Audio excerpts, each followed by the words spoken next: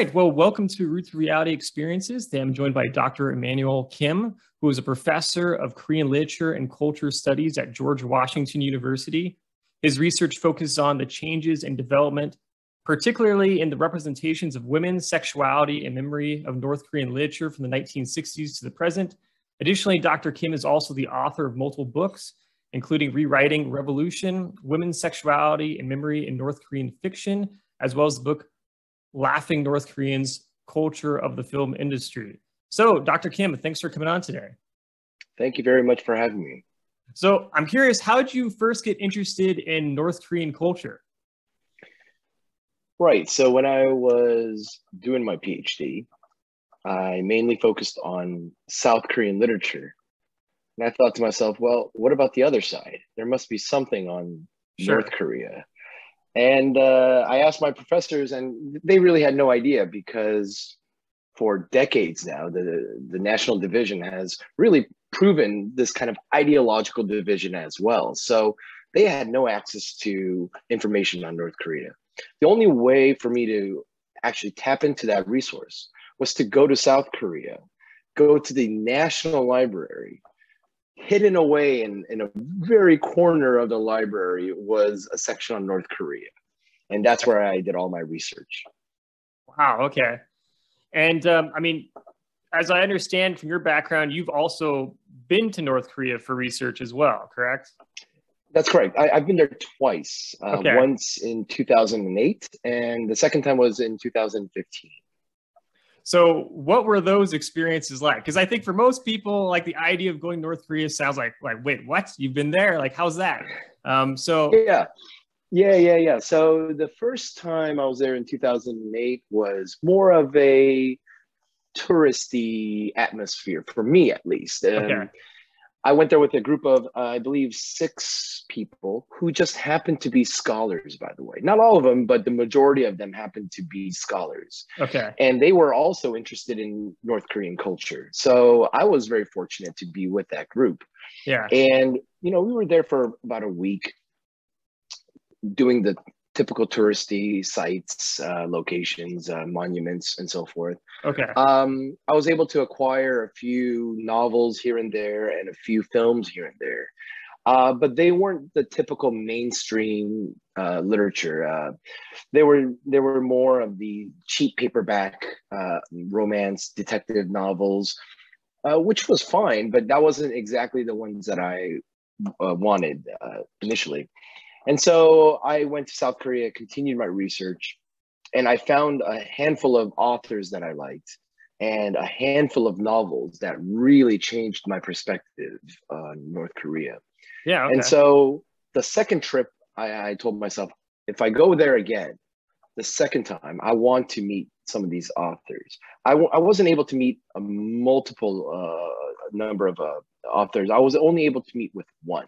But that one person really changed my life. So, um, and I loved his novels. So I went there in 2015 and I spent three days interviewing, eating, uh, playing ping pong with this guy. And it was just a lot of fun, right? And I got wow, to learn a lot about North Korean literary culture, the way they write, the way they get censored, um, and all kinds of interesting stuff. So that was a very invaluable time. Yeah. Now, this is, I think, for a lot of people listening, this is really interesting because the way you describe it, it sounds like a casual research trip abroad.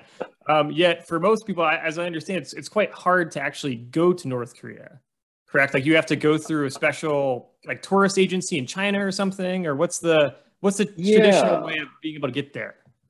Yeah, yeah. So you can actually find these agencies online and okay. you can contact them and they will be more than helpful um, and so you just set up an uh, you just arrange a, a time to uh, go on this tour uh, because they have different blocks of times that they go and you know you find the one that most fits your schedule and you apply um, you have to provide a few documentations um, and if you have a pretty clean background right in other words you weren't you weren't uh, part of or you weren't working for the government or the CIA specifically, because the North Koreans will do a background check on you. And if they Sure. find something a little fishy, they're not going to allow you into their country. So Right. as long as you have a pretty clean slate, um, yeah, going in isn't much of a problem. And Yeah. in fact, many Americans have gone uh, at this point. So it's it's no longer so much of a novelty as it used to be. I, know, I guess back in the nineties. Yeah. Okay.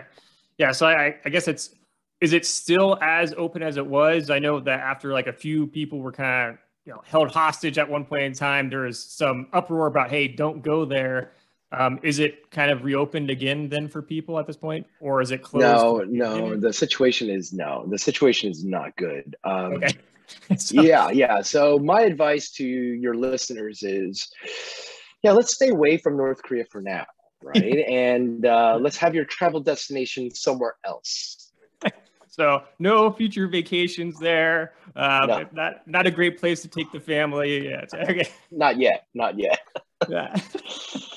so, what is the atmosphere like there? Then, I mean, I, I suppose that for the most part, like it's it's kind of a when you're with what you're presented with when you arrive, it, it's kind of this uh, sort of fictitious atmosphere of North Korea. Then, and are you like being closely monitored every step of the way?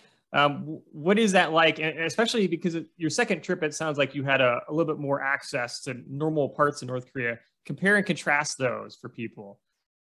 Right. So arriving in North Korea would not be like any other travel destination. You're not going to land in the airport and catch a cab to your uh, hotel and start, uh, you know, looking up online which restaurants to hit first and which uh, tourist sites to visit. It's not going to be like that. In fact, it's going to be led by one or two North Korean tour guides. Now they're called guides, but what they really are are uh, minders. They're the ones who follow you around. They're the ones who watch you, and in some cases, watch you very carefully.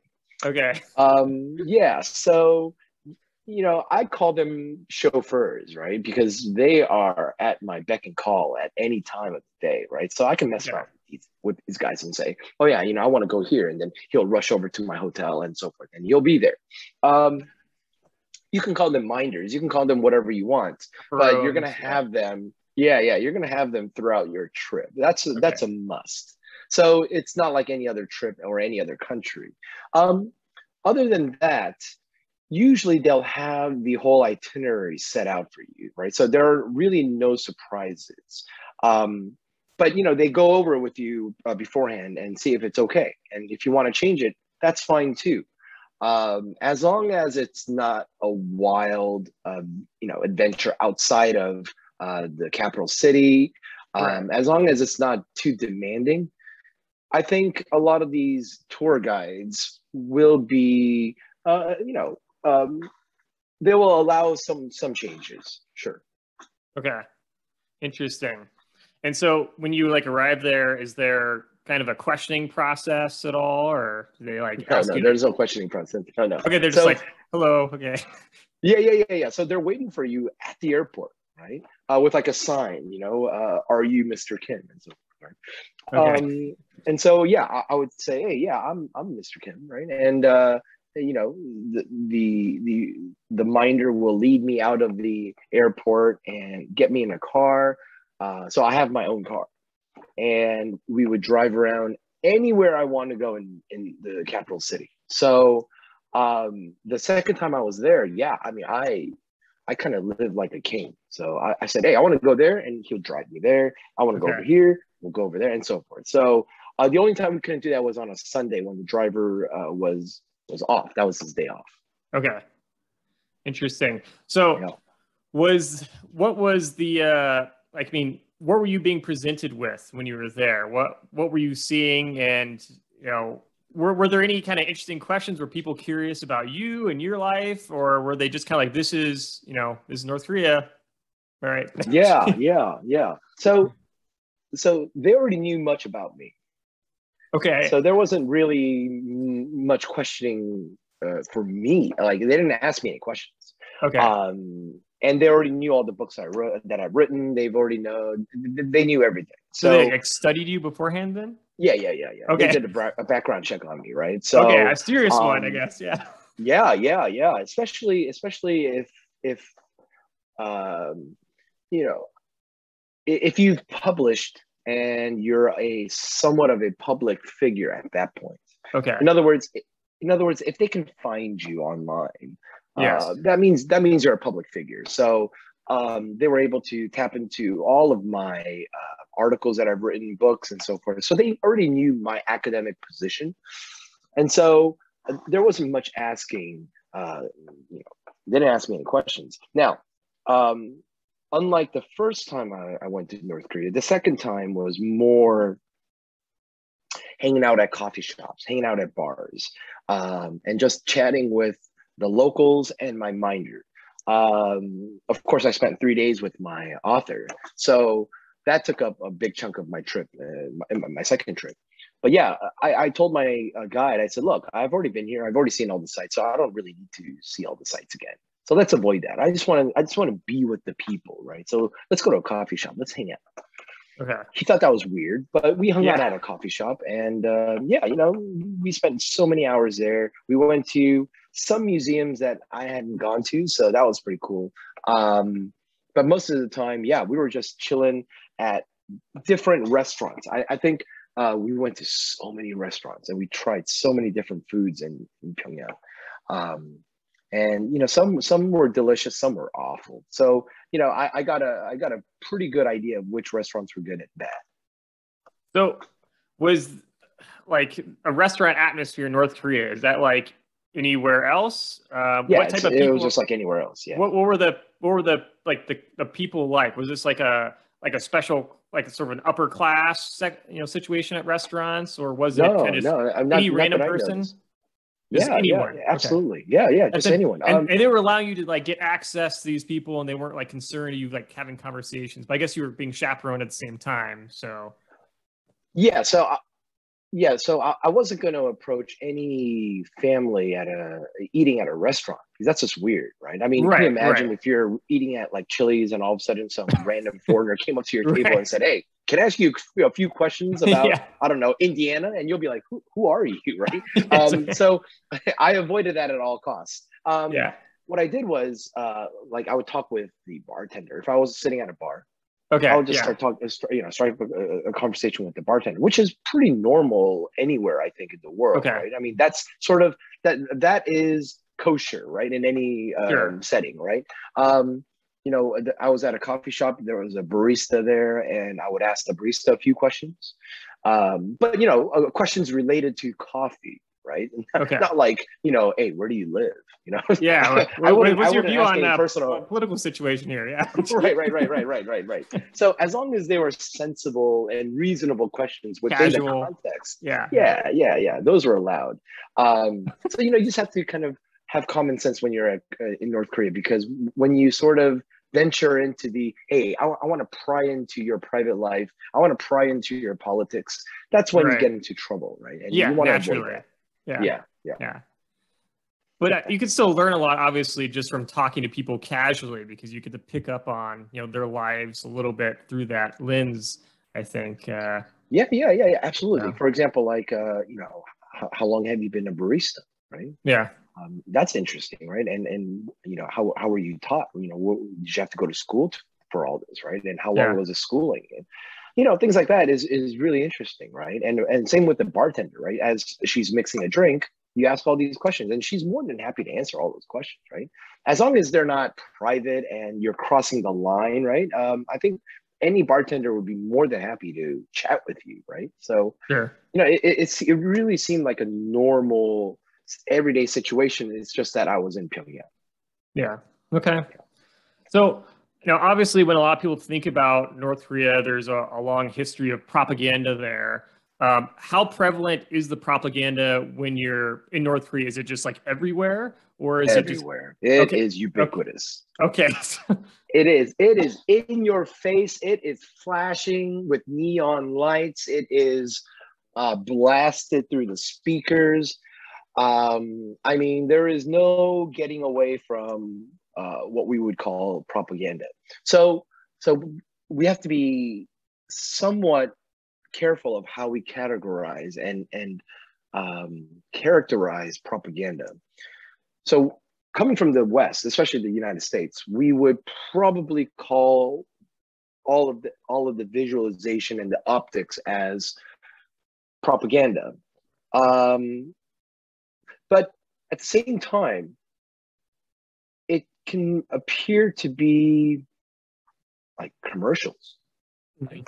So you'll see a billboard and you'll see, I don't know, the latest car that's out, right? And they'll say, oh, here's the latest car. Um, you know, let us purchase this car to support the national economy, right? So they would always add a little bit of the national part, right? Okay. Yeah. And and we might call that propaganda, but and of course, you know, here in the states, we would never we would never say, uh, you know, purchase a Ford to help our national economy. I mean, right. of course, we will never say that, right? Um, but the context of it is what matters. Yeah, yeah, yeah, yeah, yeah. Hmm. So, so again, it, it appears to be propaganda to us, but to them, it's just everyday life, right? Right. And you know, there's nothing wrong with purchasing this car to support the national economy.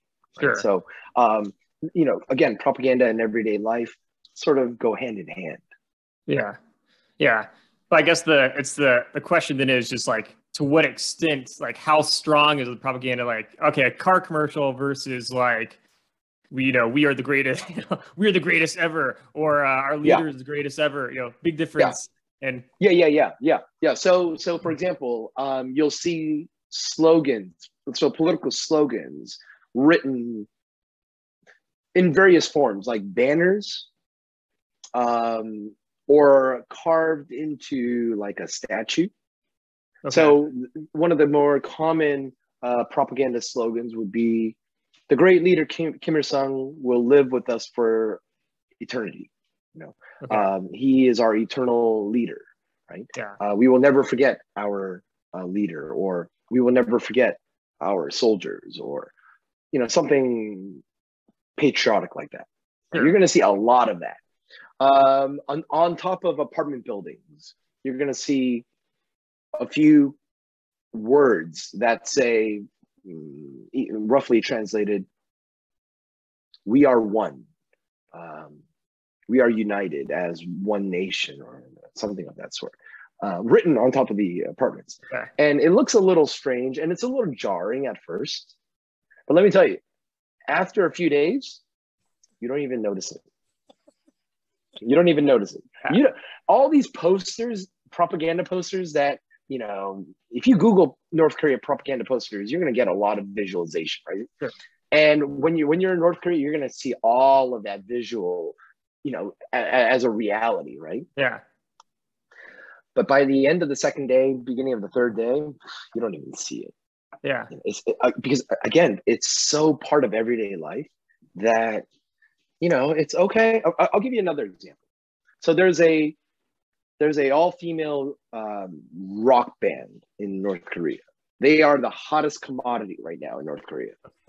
they are they are the equivalent to the Korean K-pop movement that's happening right now. Okay. BTS. Wow.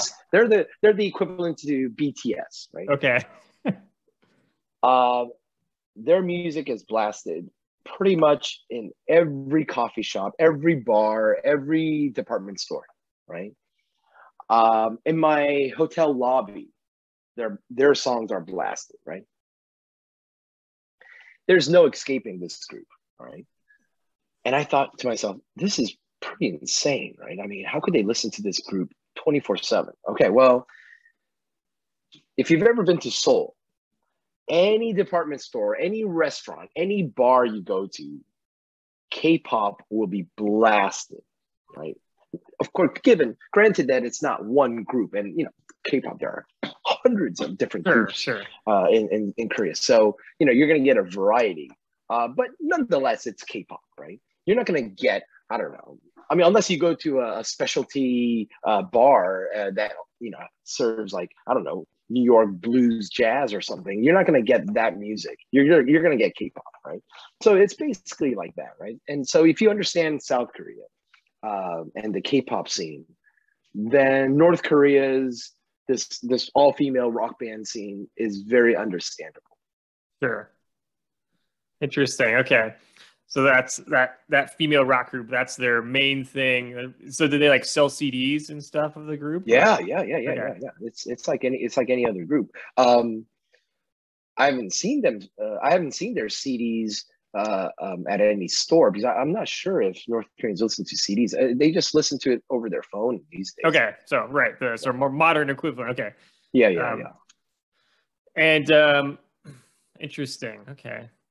So is there what are like the lyrics of songs from North Korean rock? Oh yeah, yeah, yeah. The lyrics, a lot of people. I mean, we would consider it laughable, right? Um, okay. Uh, one of my yeah, one of my favorite songs is "Let's Study."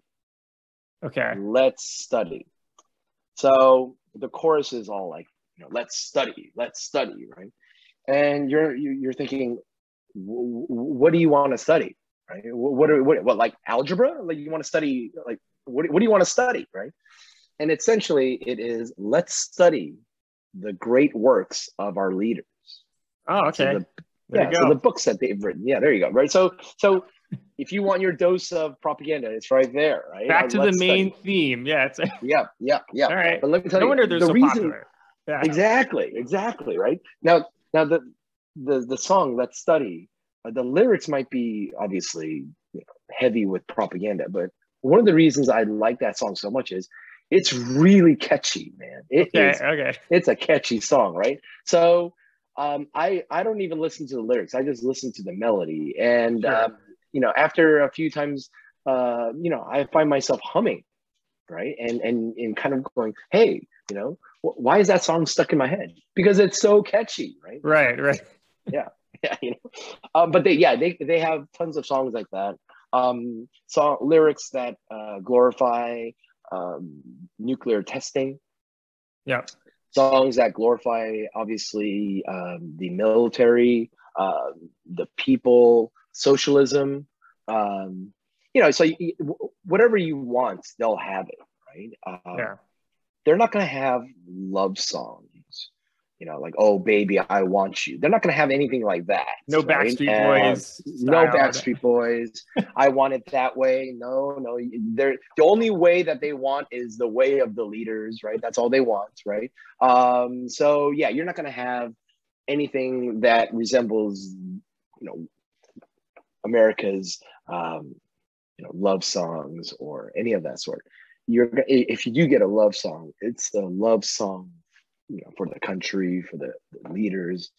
Um, yeah, so it's going to take a few years, I think, for them to come out with an actual love song. Now, now, having said that, do I think that they do actually have love songs for one another? Yes. It's just not. Um, it's not condoned by the party, so it's not publicized. So it's not like a mainstream thing. It's not the mainstream thing, right? Okay. But at the very local, at a very individual level, I totally think, and I know that they have love songs for each other. Interesting. Okay. So, what was like from all your research and experience traveling there? What were some of the strangest like propaganda that you witnessed because I know like online you'll read things like, oh, you know, something like the, you know, one of the leaders in North Korea invented the burrito, or you know, or or is great at golf. Uh, you know, very superhuman, you know, qualities. Uh, what were some of the things that stuck out to you? Like, wow, that is one of the strangest things. Yeah, but. Uh, I'm not sure about strange because you know what, what, once you study North Korea, you read about it, you you research it, and then you go to North Korea, you already have a huge like database of okay. strange ideas, strange right. things. So so nothing will catch you off guard. Or yeah. um, but there was one anecdote that my guide told me that I thought was somewhat entertaining. Okay. And I'm not I'm not sure if your audience will be able to watch this uh, podcast. Are are they able to yeah, watch yeah. it? Yeah, they'll be able to watch it. Yeah. Oh, okay, yeah. So so the anecdote is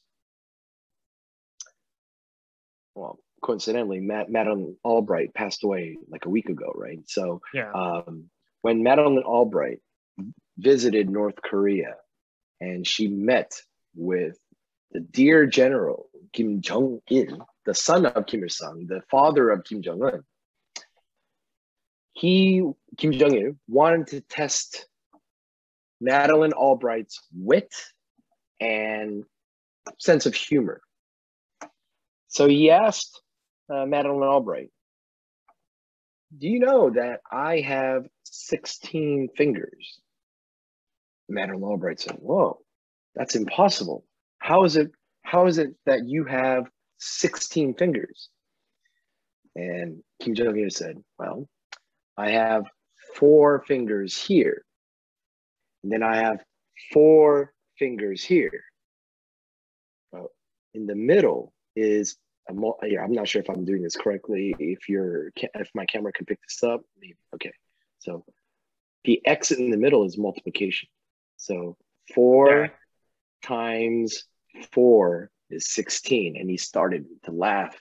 And Madam, according to the guide, Madeleine Albright was amazed by Kim Jong Il's, you know, sense of humor, wit, and was completely bemused. Um, so that's the kind of propaganda that I heard from my guide.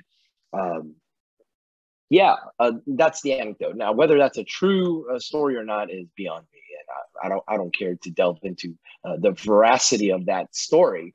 But nonetheless, uh, the idea is look how clever our dear General Kim Jong Il is, right? Right. So um, there there hasn't been a story yet that I've known or that I heard yet um, about Kim Jong Un, uh, especially after meeting with uh, Trump.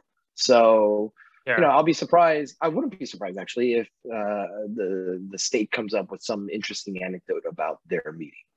But we'll see. Yeah. Yeah. Okay. That would be that would be interesting because that was that was yeah. quite the show for sure. So. Yeah, it was. Yeah. Yeah. but um, so, but generally speaking, you do, it seems like it's a popular thing then for North Korea for their leaders to have lots of this kind of uh, mythology or, or, you know these incredible stories about their abilities and stuff like that and and i guess that's just kind of normal uh just kind of a, a, a normal part of the atmosphere there then. Right right. So um the question really is do the people believe it? Yeah that's what i was actually just going to ask is how do they respond to this and yeah. live with that? Yeah. Yeah yeah. So do they actually believe that their leaders are capable or have done these fantastic feats? Um, did they truly, you know, invent this? And are the North Koreans gullible enough to believe that? I'm not sure because it's impossible to obviously sort of take a survey or speak privately to the North Koreans. Um, but according to defectors now, they have a pretty interesting take on all of this propaganda. And according to the defectors, they say that it's it's likely that North Koreans do not believe everything the party says. In other words, they the North Koreans know how to decipher and decode what is true and not true right? So I don't know how they do it. It's just that's what defectors say. Right. So the party will say the party will say something like, "Oh, um, recently our leaders, you know, met with this leader from another country." Now that's true. They might right. have met with a leader from a different country, but did they say the following? They're going to have to decode that, right? Yeah. And and right. decipher. So so that's what the North Koreans are capable of doing. Um, and they know how to filter out what's true and not true. So I yeah. think that's interesting. And you know, when they see all these propaganda posters lined up uh, along the walls and all these murals, all these statues, um, I will I will guarantee you this: if they see a statue as they're walking by, they're not going to bow to it. They're not going to be like, oh, you know, they're not going to. Right. That. It's just everyday kind of part of the landscape of North Korea. Sure. Right. So you know, after a while, I mean, you ask. Um, you know New Yorkers, are you in awe of the Statue of Liberty or the Empire State Building every time you go by it? No, right? New Yorkers Right. could care less about the Empire State Building after a while, right? Yeah. So um, it's just you can tell who the tourists are, who the ones you know the ones who are taking photos of the Empire State Building, right? So Yeah. so um, yeah, I mean, after a while, uh, if you live there and you experience it every day, it's it's not even gonna register, right? Yeah. So Yeah. So like the the videos and stuff that come out in North Korea, would you say are, are highly staged in terms of like the applause and stuff, everything, or people generally speaking know like I need to do this in this situation? Um, Yeah. What's that's Yeah, yeah, absolutely. I, I think I think the ones we see uh, in, in our media, um, you know, we, we can say that they're staged, um, but that's that's a funny thing. Uh, do they purposely put him there and say start clapping? Uh, yes and no. I think it's hard to tell. Um, I, I would, I guess it would depend on what the event is. right. Um, so, uh, for example, I mean, do we find it strange that you know, if, if you've ever been to like a, a, a, a recording of a late night show with Jimmy Fallon, you know, they do have a guy who says, who raises up a sign that says Sure. clap, and everyone has Yep. to clap and everyone has to cheer, right? So, I mean, Yeah. that's pretty artificial if you ask me, right? So, Yeah. uh, but if you don't if you don't have that person who holds up the sign clap or cheer, uh, then the the whole show might be a little dull, right? So Yep. you're going to have to have some, you know, the audience cheering and clapping in order to get the momentum of the laughter going. You know, because if if you have others laughing, surprisingly, you start to laugh when you watch the show as well. So Sure. you know, if we think of it like that, then the staging, the so-called staging of North Koreans uh, in in media or whatever their state media shows isn't entirely surprising. Um, Right. You know, because it does sort of, you know, provoke the viewers to have that kind of response, right? The emotional response. Yeah. So, um, yeah, I I mean, you know, when we say staging, we, we would have to look at the context of what that means. Mhm. Right? Yeah. Do you think that uh, North Koreans, generally speaking, have a like a strong affinity for their leaders? I think some do.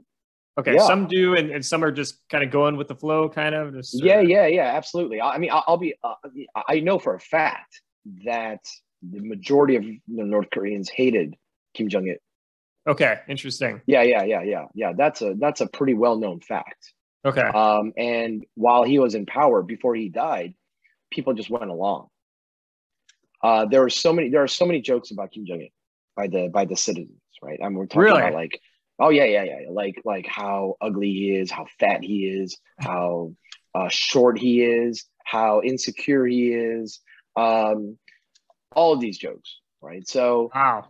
um, you know, but that that that's not the first time I've heard um, people make fun of Kim Jong Il. Um, some people are nostalgic, and they have fond memories. Uh, if if they're old enough, they Yeah. have fond fond memories of their first leader. You know, but Yep. they have a good memory of the first leader, although he was bad as well.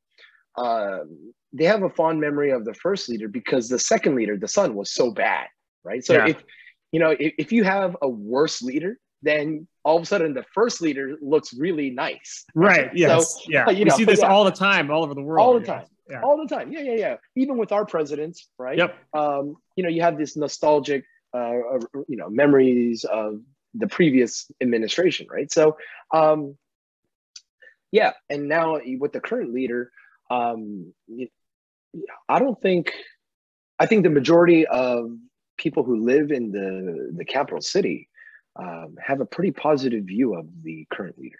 Okay. Interesting. Yeah, because he, he's trying to promote change. He's a young guy who who wants to do this and that. He's experimenting with this and that. Um, and I'm I, I I really want this guy to promote more change if possible. Yeah. So Yeah.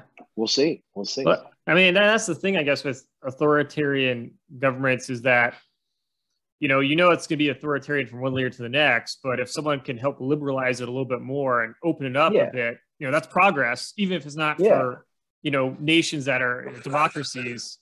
Um, you know, that's that's still considered like, hey, that's a step in the right direction for us. So, um, Absolutely. I mean, look, um, when I was first there in 2008, uh, I guess only the elites, uh, the wealthy in the city, uh, walked around with cell phones. Okay. In 2000, 2015, like 90%. And then my colleagues said, now it's like 100%. Right? Uh, everyone is walking around with a phone, uh, minus, minus the little kids, right? Right. Uh, I'm talking about uh, adults. Right? Yeah. So, so the next step, and and by the way, they're getting all their information in their phone, right? Um, through their phone, uh, they are texting each other. They are, you know, paying each other through their phones with their Okay. phones. They have like this payment system, like a Venmo. Okay. Um, so it's just a matter of time before they get access to the internet and um, they can, you know, finally do what we all do. Yeah. Okay. That would be good. All right. Yeah, that would be good. So it, you know, just you know, we, we we just need to be a little patient. So again, um, I think the the the current leader, um, I think he really wants that. I think it's the old cabinet members who don't want that kind of radical change because they know that their power will be very limited. Yeah. And you know, this kind of sudden radical progressive change um, is too much for you know a country like North Korea for now. Yeah. Sure. Interesting. Yeah. I mean, it gives a little bit of a different, different, different side of it instead of just looking at the sort of the military rhetoric all the time, but what's actually happening there in society and how it's changing. Um, Yeah. I think some of the interesting things about your research is that you try to get, from what I understood, you try to get sort of beyond the propaganda and look at the normal day to day life and, and show these like real natural human experiences that people could relate to anywhere in the world. Um, you know, can you talk a little bit about that and like, you know, sort of giving a glimpse to of what North Korea is like, but sort of behind the curtain? Yeah, absolutely. So I started with literature and then I moved to films. And, you know, one of the striking things about literature, or at least a, a pattern that I saw, was this kind of mm, individual desire uh, for one's own sake and not necessarily for the, uh, for the state or for the leaders or for the uh, country. Um, so typical North Korean literature uh, would be the main characters praising the leaders, the state, the party, uh, having this kind of patriotic um, um, sensibility toward. Yeah, yeah, yeah. You know? um, but then, you know, as you read through a lot of this different types of literature, you come across ones that don't have that necessarily, um, or if they do have it, it's only in passing, right? So it's not the crux of the story. It's not the main point. It's not the driving point it's the more of an afterthought, right? Um, and the, the focus really is on me, on me and my partner, me and my, uh, you know, my work colleagues, my me and my community, and so forth, right? So um, I was able to relate to those stories a lot more. And the more I looked into those stories, the everyday story, right? The the banal stories, right? The ones that uh, talk about going to work, and getting getting into an argument with my coworker, getting into an argument with my boss, something that we all could relate to, right?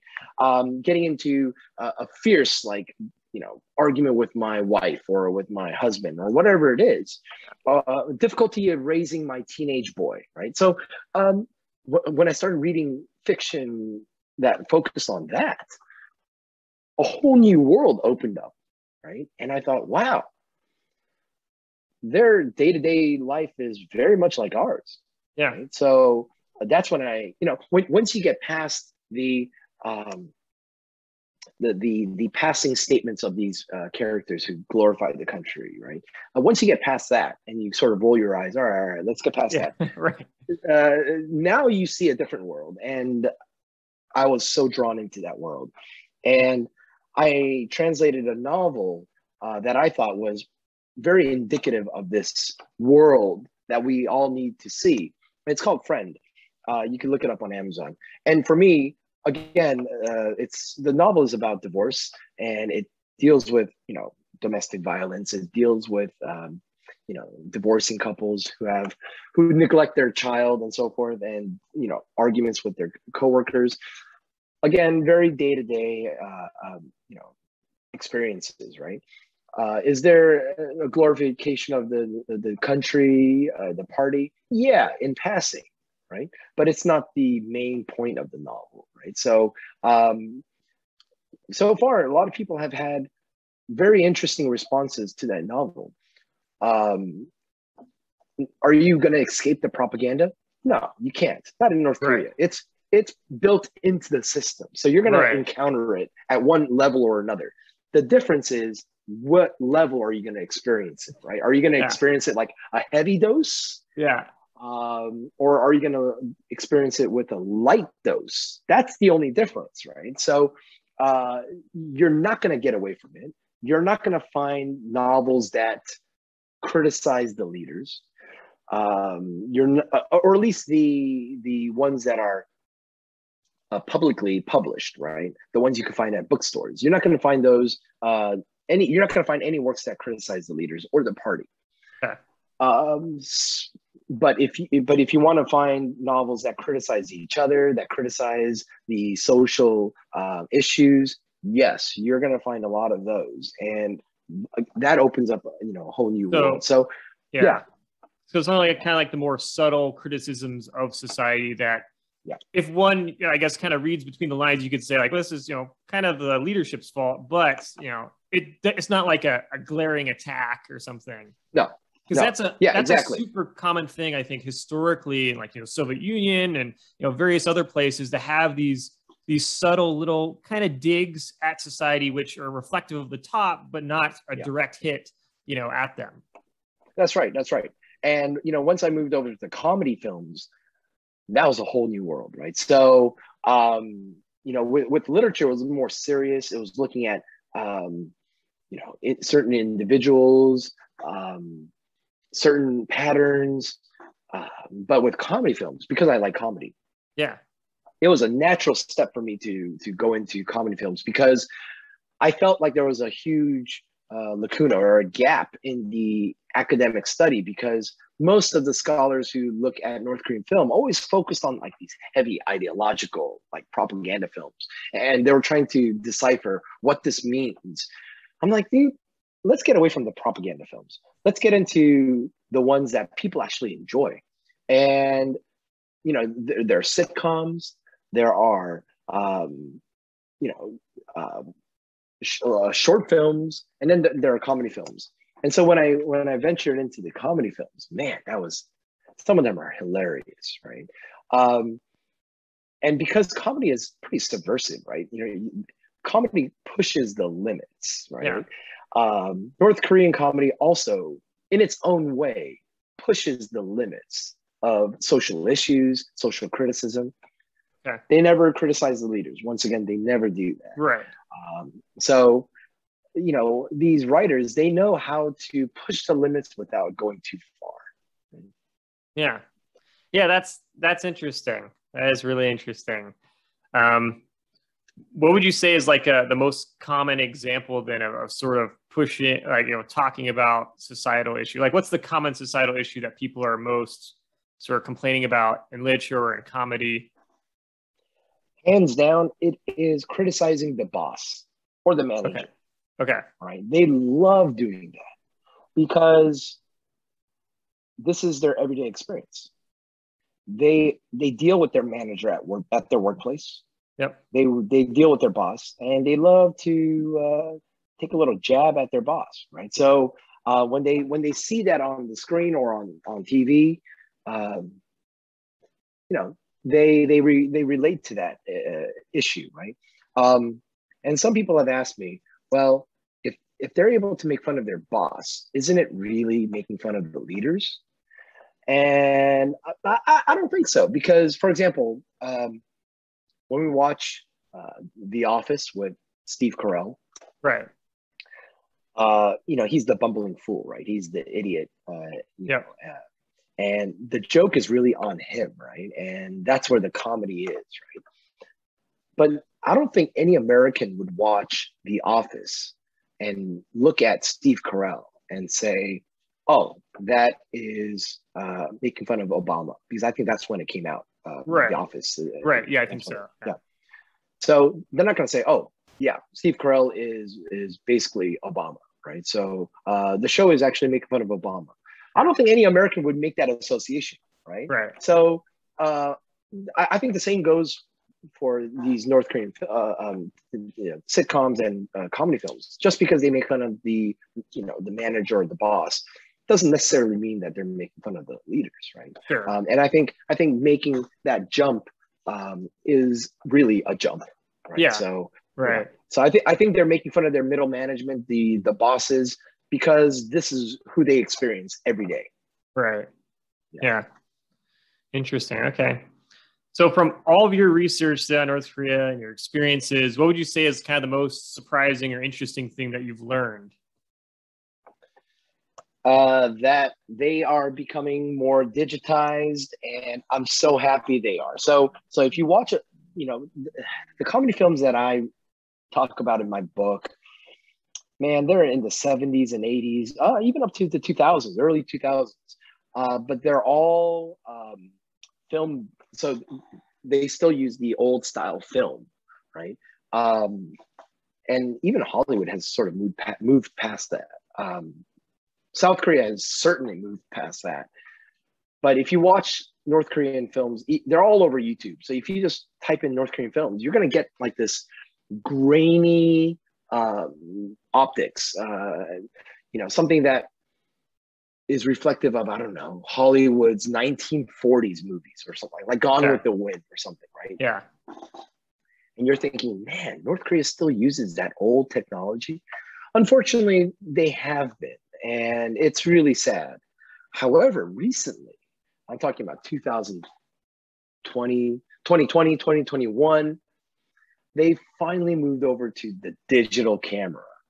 And so if you watch some of the more recent films uh, from North Korea, now it looks like the ones that we're used to and what South Korea is utilizing these days, right? So finally, they've made that jump, and it's a very evident jump. So I'm very happy with that, and um, hopefully, you know, as they are as as they move over to the digital world, um, you know, hopefully the the content of the film will also change and become more, you know, concurrent uh, with what's happening around the world.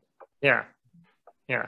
Well, I think that's the, the, the kind of cool thing in general about your, your work because it's so easy, I think, from people on the outside looking at, at different societies, especially ones with these, you know, kind of odd political views or, you know, or very authoritarian, is that you kind of just, just assume that, okay, it's like, there's nothing here. It's, it's just kind of this empty, empty shell kind of, of propaganda.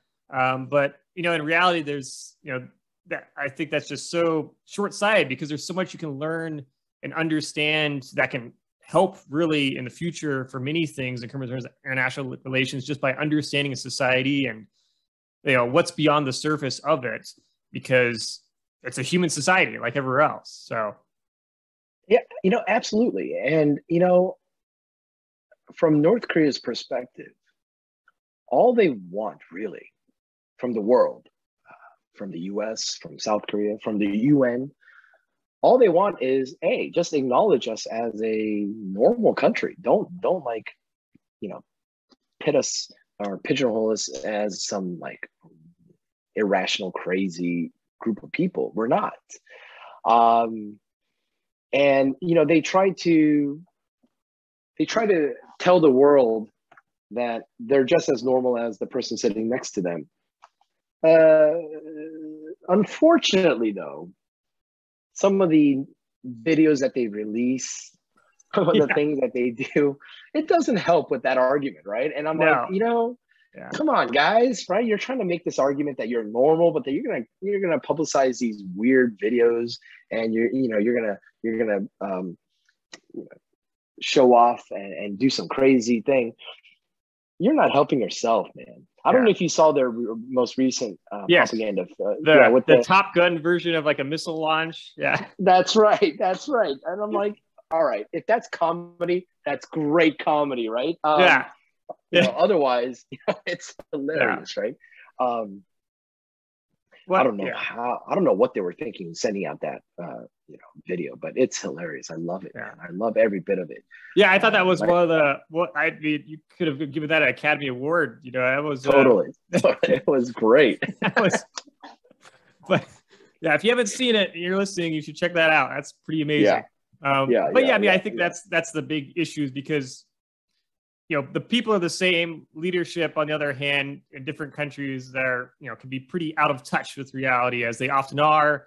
You know, in these correct echo chambers of authoritarianism, um, especially North Korea, I suppose. Uh, it's kind of well the top top in terms of like the standard for sort of uh, regime kookiness, but yeah, um, yeah but the people in general are you know you could relate to them um, on a personal personal level i suppose um, look, absolutely so even my minder who was probably selected by the party or some kind of yeah. department uh, government department and so forth um, you know when we got together and we had dinner every, I, you know i had lunch dinner with this guy every day um we started talking about his family, you know, his kid. Now we're getting to like real conversations. Yeah. And you know, you realize, oh yeah, this guy's a government official, but hey, man, you know, he's struggling to raise his teenage girl. You know, you know, it's, yep. just, it's just like any other father, right? And right, um, yeah. you know, then we would share stories, we would exchange stories and things like that. Um, you know, his childhood, um, albeit his childhood was significantly different from my childhood. Um, but but nonetheless, some of the uh, you know concerns, stress, uh, whatever uh, issues and you know problems that he faced, uh, different context, but nonetheless similar issues. Yeah. So, yeah, there's a yeah, they're human. They're human after all. Yeah, that's right. The, the human factor there, and I think that that yeah, it's easy to lose track of um, because you get blinded by the by the politics of the governments. Um, but yeah, the people there are pretty much just people. So um, absolutely. You know, here's an interesting thing as well. Um, you know, I grew up in California. Yeah. And you know, someone growing up in I don't know Alabama or Maine or Alaska, although they're all Americans, I think we'll all have slightly different experiences growing up, right? But nonetheless, I mean, we're still human beings, right? So yep. uh, we could still sit down and have a sensible discussion, conversation, right? So yeah, that's exactly what I had with the North Korean guy, right? So, yeah, interesting, yeah. cool. Um, so what are you uh, currently working on? Well, with the ban- pandemic, it's it was really difficult to start up a new uh, project, and yeah. um, you know the Library of Congress is now just reopening, right? Yes. So um, you know, I, well, we'll have to wait and see. You know, but okay. it's going to move more toward you know media and uh, you know maybe television, North Korean okay. television programs sure. and whatnot. Yeah, so we'll see. Cool. And what's the best way for people to like keep track of your work then? Oh God, you know I, I'm terrible with promoting myself. I, I I don't have a Twitter account. Um, my Instagram is I don't know decades old and, and it's has all these cobwebs on it. Um, so it's it's hard to follow anything that I do. Um, That's your university and, page, then I suppose. Yeah, maybe my university yeah. page. That's about it. I, am so I'm so uh, analog when it comes to this kind of stuff. So I'm I'm sorry to your audience. No, that's that's okay. They can do the extra effort and just Google you. yeah, yeah. Cool. All right. Well, thank you so much uh, for doing this. It's been really interesting. I, I think uh, yeah, sheds light on a lot of things that I think would be pretty mysterious otherwise for people. So thanks again. Thank you, Ben, for having me. And, uh, you know, it was a pleasure talking to you.